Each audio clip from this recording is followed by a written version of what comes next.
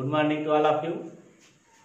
पिछले वीडियो में हम लोग लेंस के बारे में पढ़े थे। लेंस दो प्रकार का होता है, उत्तल लेंस और अवतल लेंस।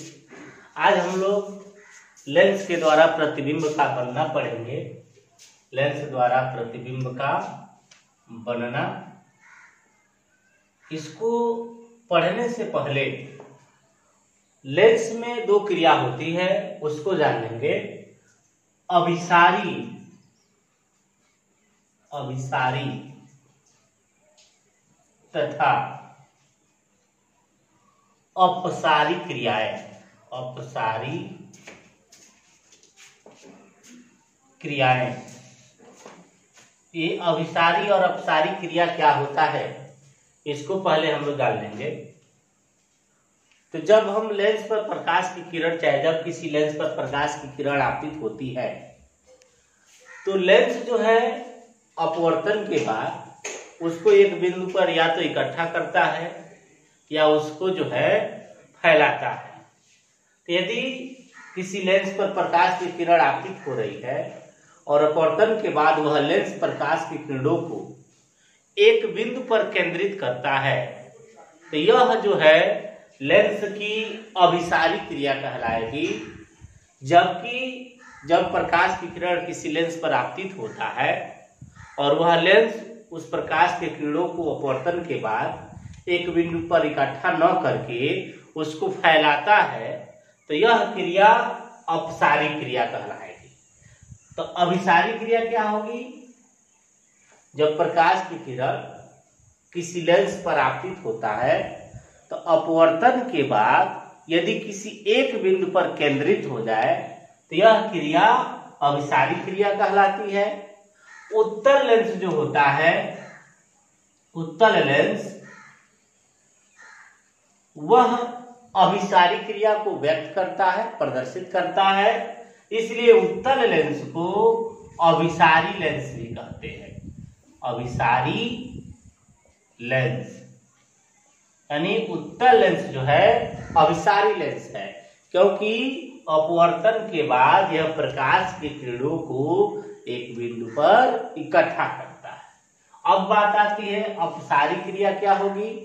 तो जब प्रकाश की किरण किसी लेंस पर आपतित होता है तो अपवर्तन के बाद यदि वह लेंस प्रकाश के किरणों को बिखेर दे, फैला दे तो यह क्रिया अपसारी क्रिया कहलाता है।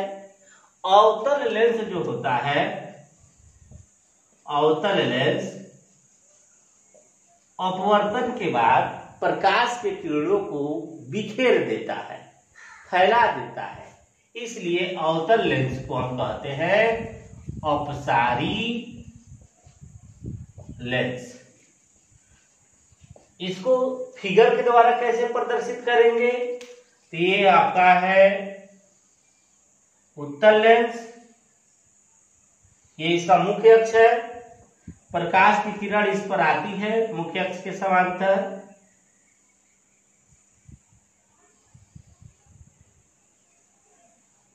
इसका अपवर्तन होगा। अपवर्तन होने के बाद प्रकाश की किरणें एक बिंदु पर इकट्ठा हो जाती है। तो इसको हम कहते हैं, ये जो क्रिया है, यह अभिसारी क्रिया है।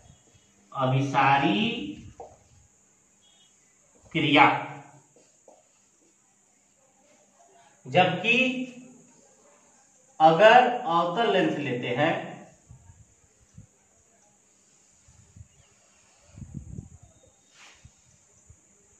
यह अवतल लेंस है यह अवतल लेंस का मुख्य अक्ष है, इस पर जब प्रकाश की किरण मुख्य अक्ष के समांतर आती है, ये प्रकाश की किरण है। जो मुख्य अक्ष के समांतर आ रही है। जब इसका अपवर्तन होगा तो यह लेंस प्रकाश के किरणों को बिखेर देता है। तो इस क्रिया को कहते हैं हम अपसारी क्रिया। अपसारी क्रिया। यानी उत्तल लेंस जो है, अभिसारी की तरह कार्य करता है, इसलिए उत्तर लेंस को अभिसारी लेंस भी कहते हैं। और यह प्रकाश के किरणों को अपवर्तन के बाद एक बिंदु पर इकट्ठा करता है। जबकि अवतल लेंस जो है, वह अपसारी लेंस होता है, क्योंकि अपवर्तन के बाद ये प्रकाश के किरणों को बिखेर देता है। इस क्रिया को अभिसार, अपसारी क्रिया कहते हैं। और अवतल लेंस जो है, अपसारी लेंस होता है। इसके बाद हम लोग पढ़ेंगे लेंस द्वारा प्रतिबिंब का बनना इसके लिए तीन नियम है। वह नियम प्रतिबिंब को बनाने के लिए उत्तरदायी होता है। सबसे पहला जो नियम है, लेंस के द्वारा प्रतिबिंब कैसे बनेगा, इसमें पहला जो नियम है, वह बतलाता है कि अगर प्रकाश की किरण मुख्य अक्ष के समांतर आती है, मुख्य अक्ष के समांतर आने वाली प्रकाश की किरण, आने वाली प्रकाश की किरण आने वाली प्रकाश की किरण अपवर्तन के बाद के बाद मुख्य फोकस से जाती है। मुख्य फोकस से जाती ये पहला नियम हो गया। दूसरा जो नियम है, ये बतलाता है कि प्रकाशिक केंद्र से प्रकाश की किरण प्रकाशिक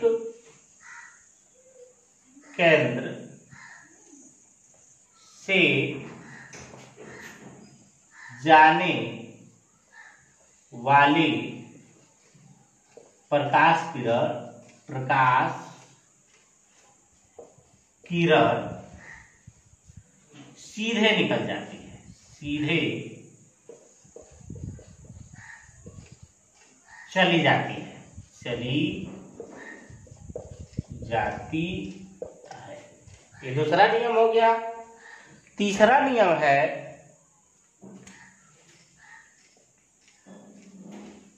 ये द्वितीय होगा। द्वितीय। उसके बाद से मुख्य फोकस से जाने वाली प्रकाश की किरण प्रथम लिख लेते हैं। प्रथम मुख्य फोकस से जाने वाली प्रकाश किरण पराव अपवर्तन के बाद अपवर्तन के बाद मुख्य अक्ष के समांतर हो जाती है। समांतर हो जाती है। ये लेंस द्वारा प्रतिबिंब के बनने का तीन नियम है। पहला नियम क्या है? मुख्य अक्ष के समांतर आने वाली प्रकाश की किरण अपवर्तन के बाद द्वितीय मुख्य फोकस से जाती है। प्रकाशिक केंद्र से जाने वाली प्रकाश की किरण सीधे चली जाती है। प्रथम मुख्य फोकस से जाने वाली प्रकाश की किरण अपवर्तन के बाद मुख्य अक्ष के समांतर हो जाती है। इसको जो है हम लोग डायग्राम से समझेंगे कि डायग्राम से कैसे होगा। ध्यान से इसको देखेंगे। पहला नियम हमारा है, मुख्य अक्ष के समांतर जाने वाली प्रकाश किरण। जैसे हम उत्तर लेंस बनाएँगे, और उत्तर लेंस पर पहला जो है, नियम है, ये प्रकाशित केंद्र हो गया, ये आपका एफ़ वन हो गया जिसको हम प्रथम मुख्य फोकस कहते हैं, इधर एफ़ टू होगा, जिसको हम द्वितीय मुख्य फोकस कहते हैं, उसके बाद टू एफ़ वन यानी इसके दुगुने के बराबर हो गया, और इधर टू एफ़ टू ये हो गया। अब देखिए, अगर मुख्य अक्ष के समांतर प्रकाश की किरण जा रही है तो जब इसका अपवर्तन होगा तो यह प्रकाश की किरण द्वितीय मुख्य फोकस से होकर जाए। यानी यहाँ से ये एफ़ टू से होकर जाए। यानी मुख्य अक्ष के समांतर जाने वाली प्रकाश की किरण आफ्टर रिफ्रैक्शन द्वितीय मुख्य फोकस से होकर जाएगी। पहला नियम था। दूसरा नियम है कि प्रकाशिक केंद्र से जो प्रकाश की किरण जाती है, वह सीधे निकल जाती है, यानी ये भी एक वस्तु है यह और बी वस्तु है। तो अगर प्रकाशिक केंद्र से ये जा रहा है तो बिना विचलित हुए ये सीधे चला जाएगा। ये चली गई, ये दूसरा हो गया। और तीसरा ये है कि यदि यफ से जा रहा है यानी प्रथम मुख्य फोकस से जा रहा है तो अपवर्तन के बाद यह मुख्य अक्ष के समांतर हो जाएगा। यानी यह तीनों किरणों का कटान बिंदु है तो ए बी का जो प्रतिबिंब होगा, यहाँ पर बनेगा ए डैश बी डैश ये जो है ए बी का प्रतिबिंब है। तीनों रेखा इसमें प्रदर्शित है। कोई ज़रूरी नहीं है कि तीनों रेखा को दिखलाएँगे। किन्नी भी दो रेखाओं से हम दिखला देंगे, वो दोनों रेखाएँ अपवर्तन के बाद जहाँ कट करेंगी, वह वस्तु का प्रतिबिंब होगा। एक बार और देखिए प्रथम नियम, मुख्य अक्ष के समांतर जाएगी, अपवर्तन के बाद मुख्य फोकस से जाएगी। दूसरा नियम प्रकाशिक केंद्र से बिना विचलित हुए चली जाएगी। तीसरा नियम यदि यफ से जा रहा है यानी मुख्य फोकस से जा रहा है तो अपवर्तन के बाद मुख्य अक्ष के समांतर हो जाएगी। इसी नियम से लेंस के द्वारा प्रतिबिंब बनता है। अब हम लोग जो है लेंस चूँकि दो प्रकार उत्तल लेंस के द्वारा प्रतिबिंब का बनना पड़ेंगे।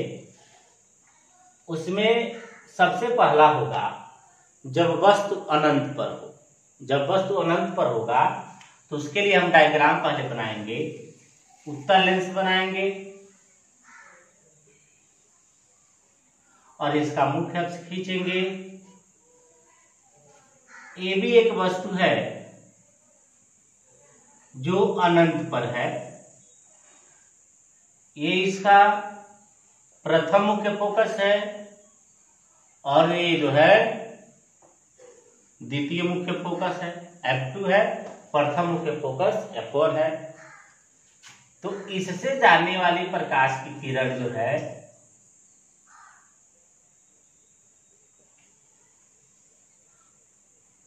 अपवर्तन के बाद मुख्य अक्ष के समांतर हो जाती है।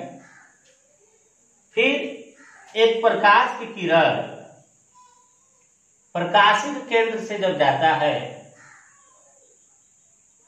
तो वह सीधे निकल जाता है। यानी इन दोनों का जो कटान बिंदु है, वह यह है, यानी ए का जो प्रतिबिंब है ए डैश बी डैश वह F2 पर बनता है। अब इससे स्पष्ट होता है इस फिगर से। अब बताएँगे कि जब वस्तु अनंत पर होगा, कहाँ पर होगा?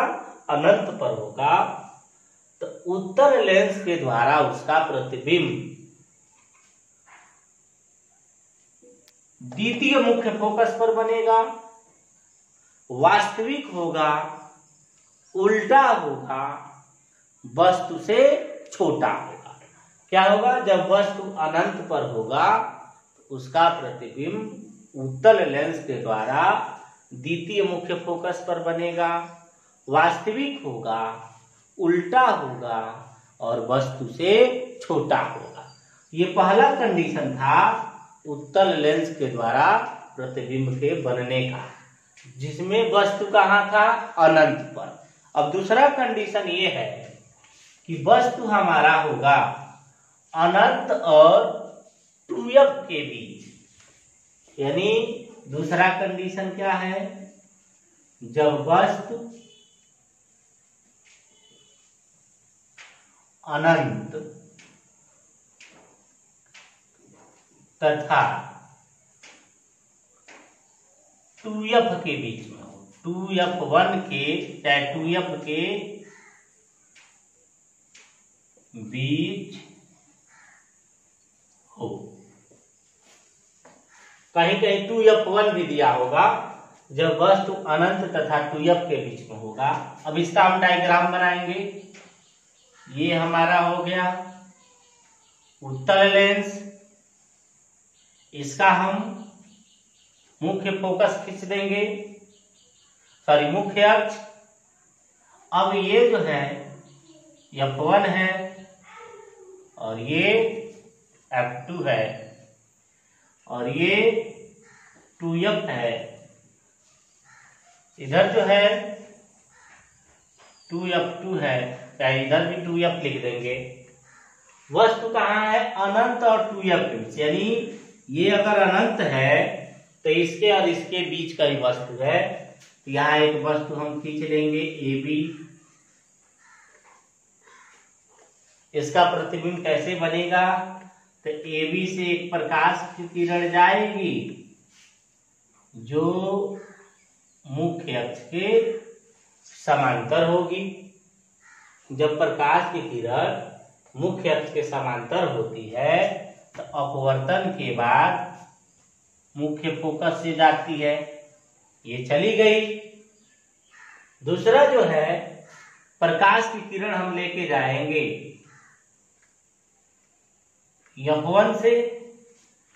तो जब यपन से प्रकाश की किरण जाएगी तो अपवर्तन होगा।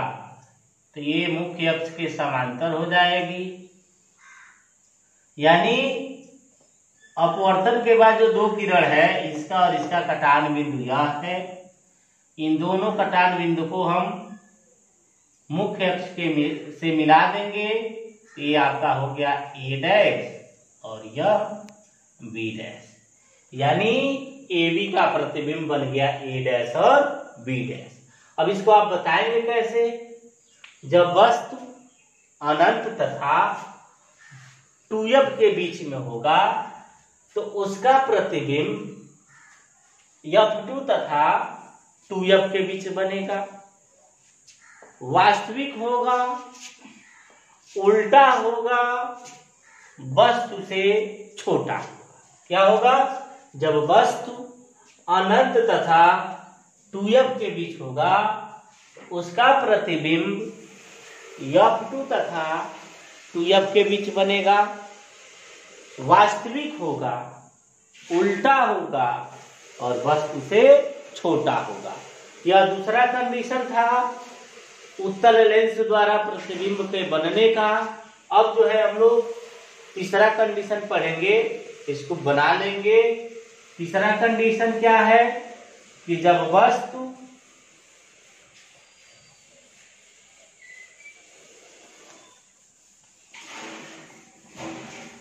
देखिए तीसरा कंडीशन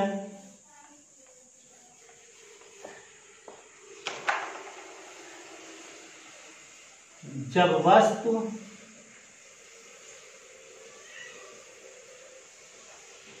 टू एफ़ पर हो टूएफ पर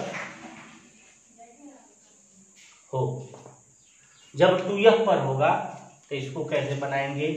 फिर से हम उत्तर लेंस बना लेंगे।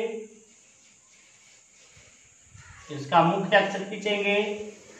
यफ है टू एफ़ है एफ़ टू है, और ये आपका टू एफ़ है।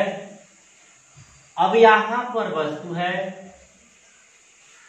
टू एफ़ पर ए बी एक वस्तु है।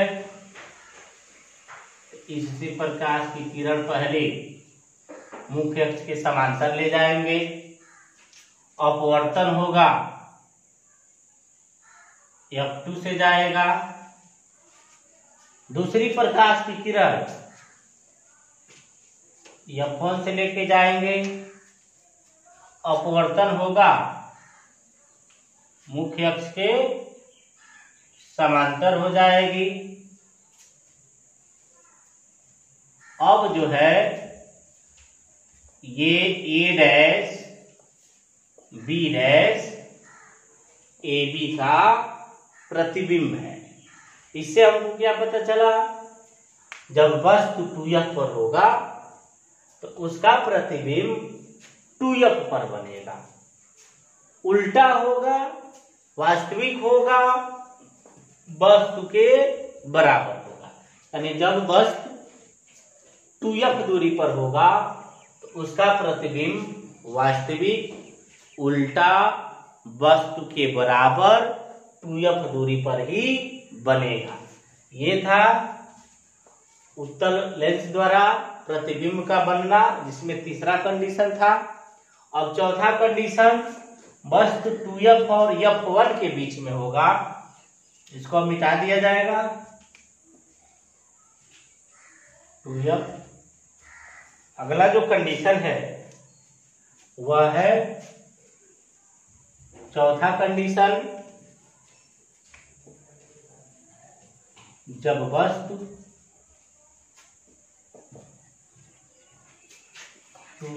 तथा एफ़ के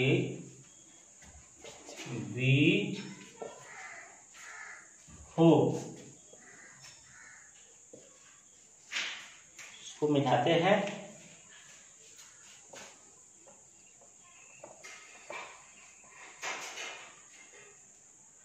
फिर से उत्तल लेंस एक बनाना है।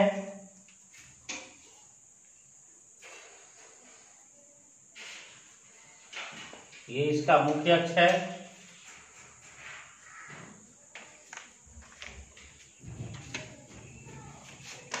ये टू एफ़ है।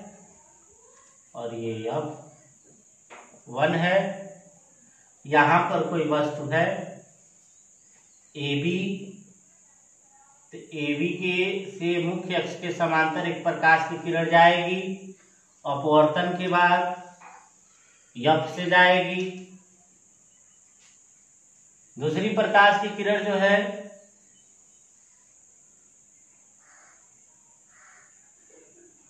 ये टू एफ़ है।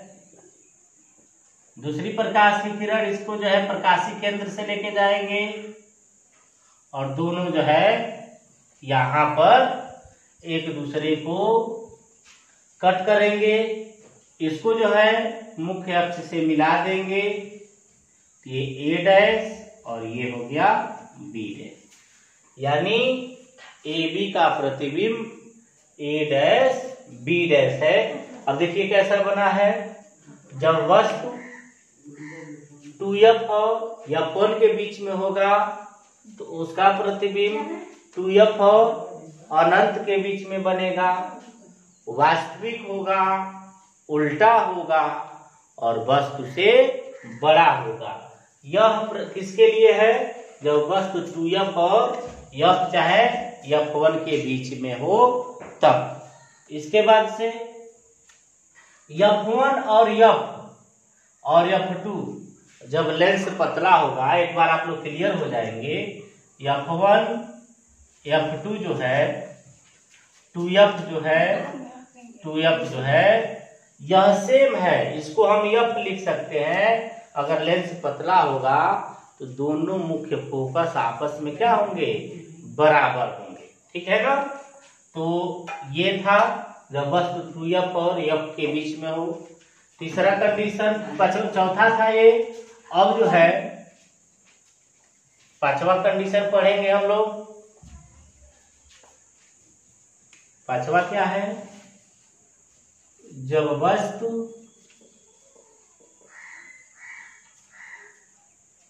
यफ पर हो यफ चाहे एफ़ वन पर हो, एक ही है यफ और एफ़ वन पतले लेंस के लिए दोनों एक ही होता है।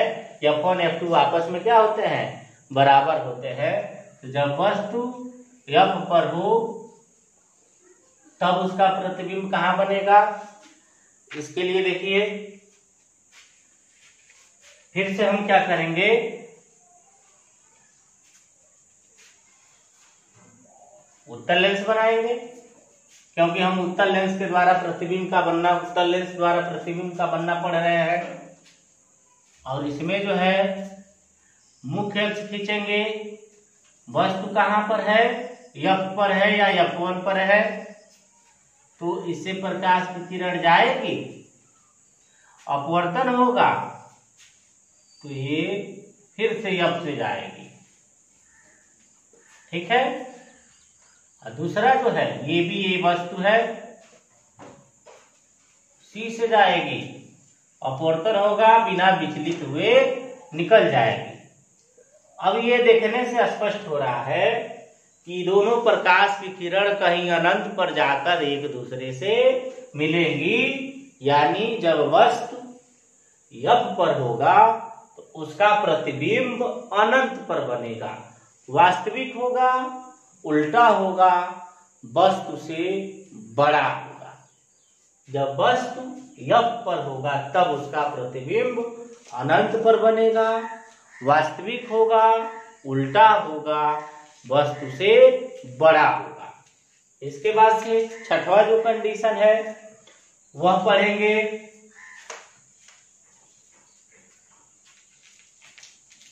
जब वस्तु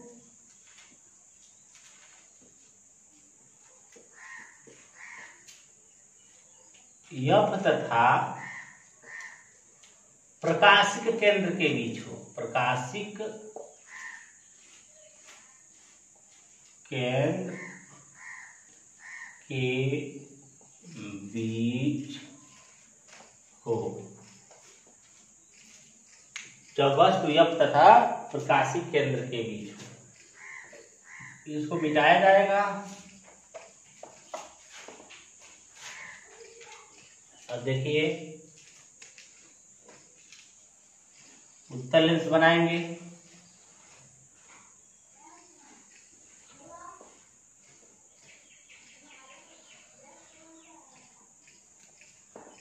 अब वस्तु कहाँ है? यफ और सी यानी प्रकाशिक केंद्र के बीच में है।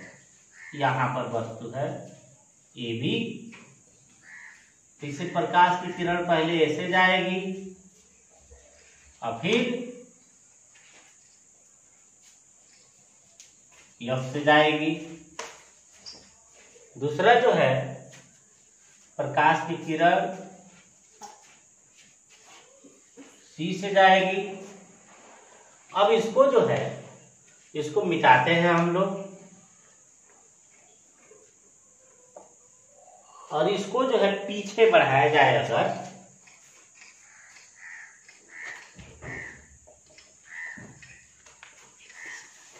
इधर से बनाते हैं।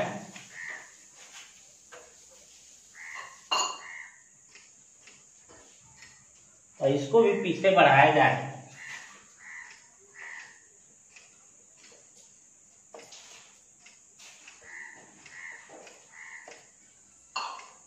तो यहाँ पर दोनों एक दूसरे को कट करेंगी। तो यह जो है ए बी का प्रतिबिंब ए डैश बी डैश है, जो जिधर वस्तु है, उधर ही बना है। तो इसमें हम बता सकते हैं कि जब वस्तु यफ तथा प्रकाशित केंद्र जिसको सी से लिखते हैं सी के बीच होगा तो उसका प्रतिबिंब वस्तु की ओर बनेगा, वास्तविक आभासी बनेगा, सीधा बनेगा, और वस्तु से बड़ा बनेगा। यह था उत्तर लेंस के द्वारा प्रतिबिंब का बनना। अब हम लोग पढ़ेंगे अवतर लेंस द्वारा प्रतिबिंब का बनना। इस द्वारा प्रतिबिंब केवल एक स्थिति में बनता है। अवतल लेंस द्वारा प्रतिबिंब का बनना इसमें एक स्थिति है बस, जब वस्तु प्रकाशिक केंद्र और अनंत के बीच हो तो हम अवतल लेंस बना देंगे।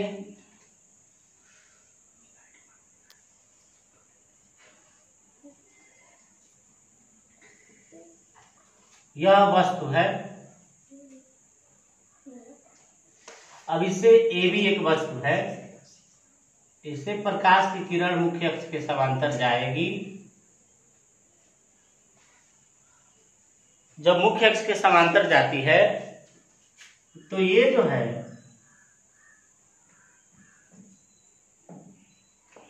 ऐसे जाएगी। उसके बाद सी से जब जाएगी तो सीधे निकल जाएगी। इसको थोड़ा सा और सीधे निकल जाएगी। यानी दोनों का कटान बिंदु ये है ए डैश और बी डैश ये अवतल लेंस द्वारा प्रतिबिंब का बनना है। अवतल लेंस द्वारा जब प्रतिबिंब का बनना हम पढ़ेंगे तो इसमें एक स्थिति है। ए भी एक वस्तु है, जिसका प्रतिबिंब ए डैश और बी डैश बना है। जो आभासी है, सीधा है, वस्तु से छोटा है, जिधर वस्तु है, उधर ही बना है। तो आज हम लोग लेंस द्वारा प्रतिबिंब का बनना पड़े हैं। उत्तर लेंस में छह स्थिति है। पहला स्थिति क्या है? जब वस्तु अनंत पर है तो जब वस्तु, ये वस्तु की स्थिति है, इसको हम एक चार्ट के माध्यम से पढ़ सकते हैं। प्रतिबिंब, इसको चार्ट हम बना सकते हैं। एक देखिए कैसे इसको पढ़ लेंगे। बहुत ही आसान है। वस्तु प्रतिबिंब और प्रकृति। यानी कैसा बनेगा? पहली स्थिति जब अनंत पर रहेगा तो यह पर बनेगा। वास्तविक और छोटा। वास्तविक जब होगा तो प्रतिबिंब निश्चित तौर पे उल्टा होगा। दूसरा जो था टूयफ तथा अनंत के बीच। चाहे अनंत तथा टूयफ के बीच। इधर से आते हैं तो अनंत तथा टूयफ के बीच। भला किसके बीच था? यफ तथा टूयफ के बीच। ये था, यही कंडीशन था, वास्तविक और छोटा। तीसरा कंडीशन जो था तीसरा कंडीशन था जब टू एफ़ पर हो। प्रतिबिंब भी टू एफ़ पर, वास्तविक बराबर वास्तविक बराबर।